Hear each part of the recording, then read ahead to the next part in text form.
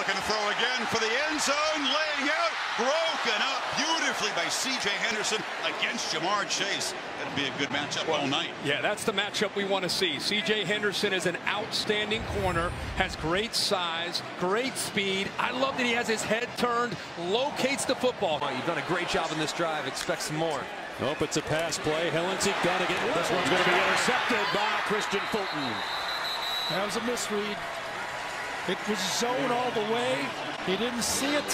Tried to stick it into Thomas, number two, but Bolton, who just made the defendant play on the long pass, baits the quarterback.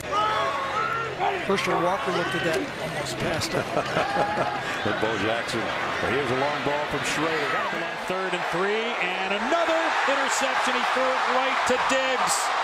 And Diggs, who had a fumble recovery for a touchdown last week, has a pick six this week. Touchdown, Bama. There's a flag down in the secondary back at the 17.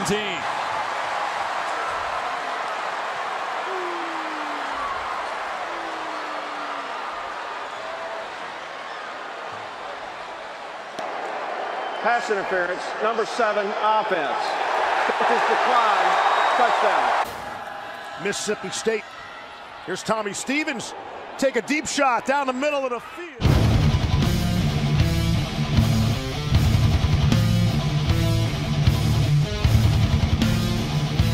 You're, you're, yo, that, what's going on? Your boy, Philly Fresh, aka the General, here reporting for duty, man.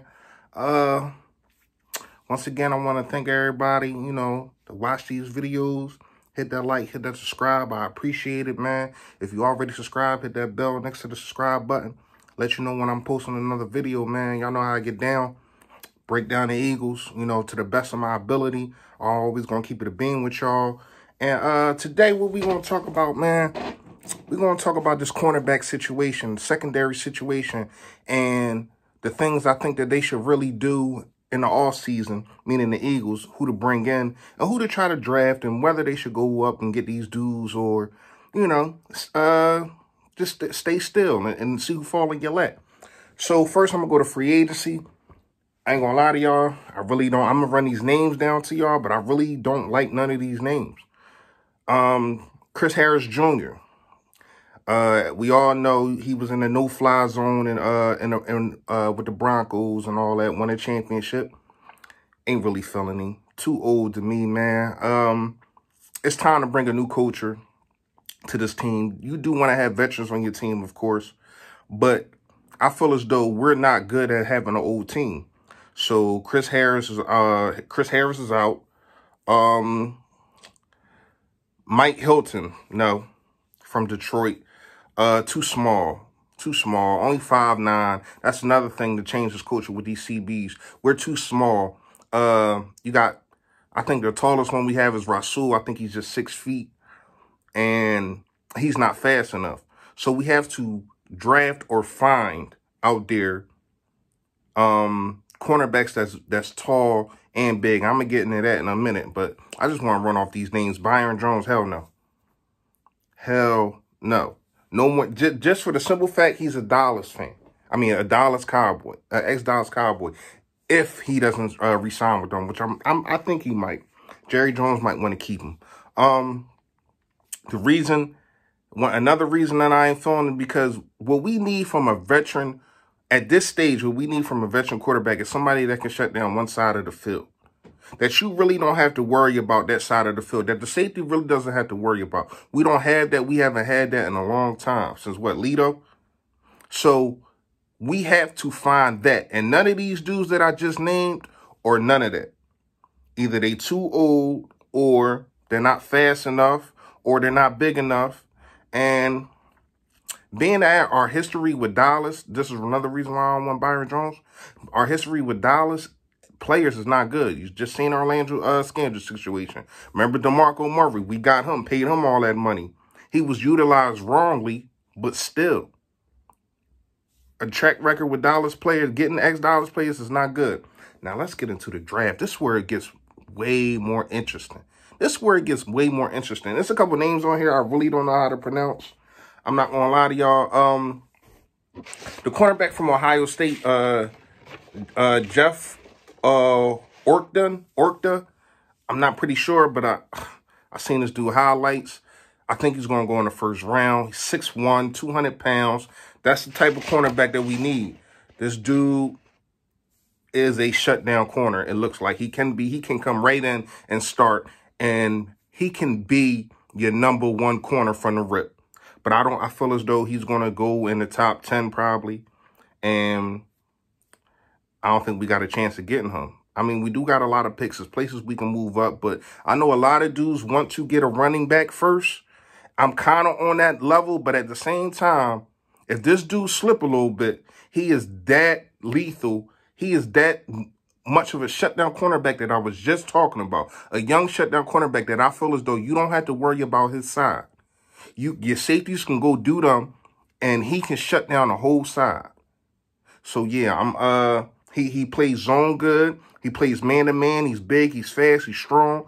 All that. I like him. Um, the next one I like though. I like C.J. Henderson, man, out of Florida, man. 6'1", 186. I think he can get a little bit bigger, but the speed is uncanny. The speed, he can turn his hips.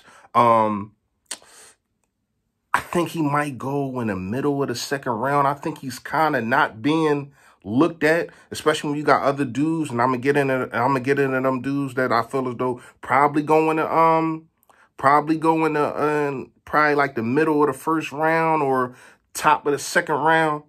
But this dude Henderson, man, good speed and he can tackle. He can tackle. No wait, is this dude? I'm sorry, he can't tackle. That's just, that's that's the reason why I feel as though he might drop. It's because he's not really a good tackler, but the techniques that you have and the techniques that you don't have, you can gain them kind of techniques, especially when you got a DB coach that we just got, and not getting into that at the end of this video. Um, Trevon Diggs.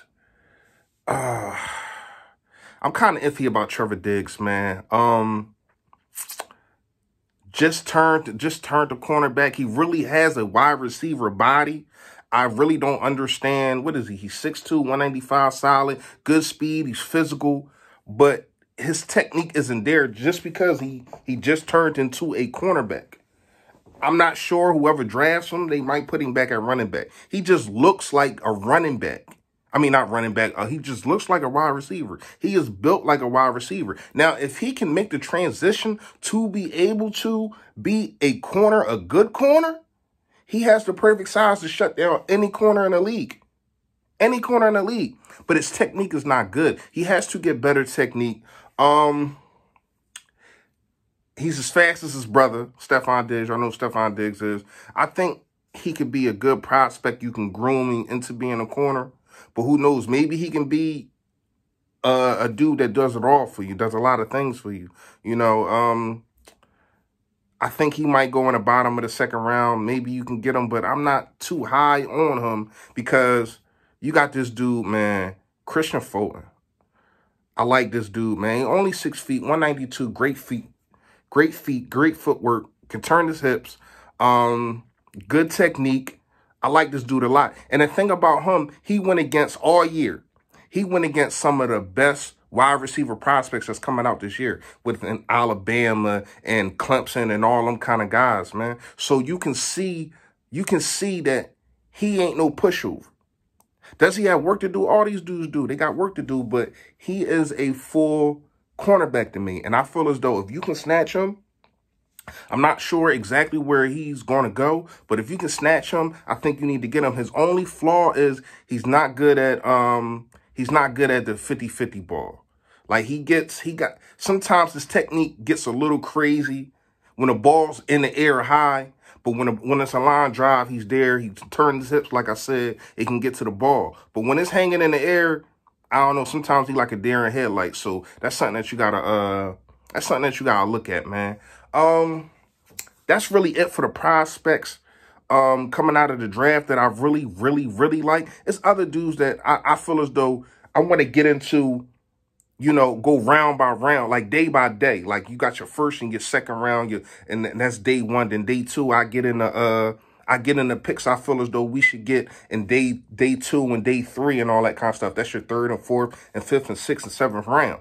So it's still this is just the first the first day of the dudes that I feel as though that we can that we can get in uh, that that we should be able to get. Some of them I know that we can't, but I just wanted to bring that up. Um, uh, um, this dude Manuel, man, a new coach that we just got, man.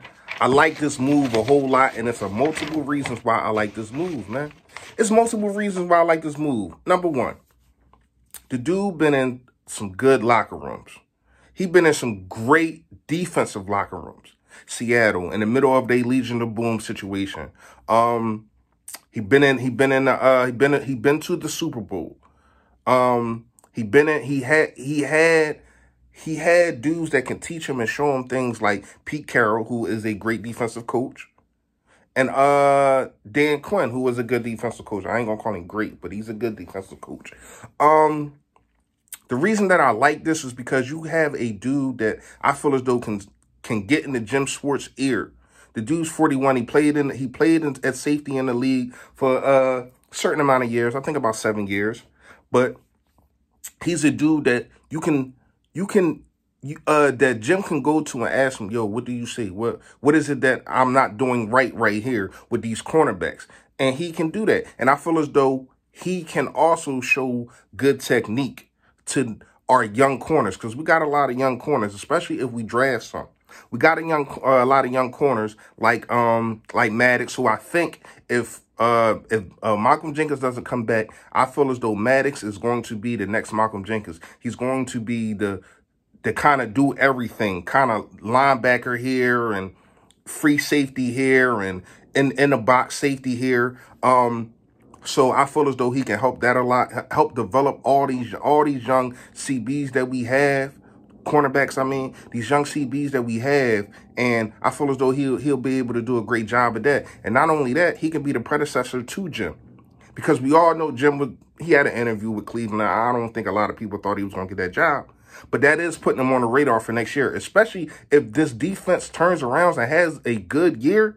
He's going to probably get a head coaching job next year. So now you got his predecessor. Now you got somebody that can take over that already that you can implement in the defense that now know the defense and been in Jim Schwartz defense for a year. So I think that that's a great move, man. Um, once again, I want to thank everybody that, that, that watched this video, man. Like I said, man, we a family, man.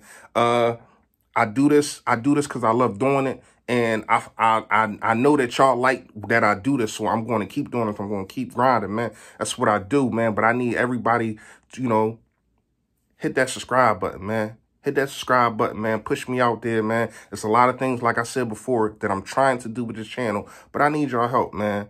Uh, y'all know the slogan, man. Y'all know what it is, man. Stay Philly, stay fresh, y'all.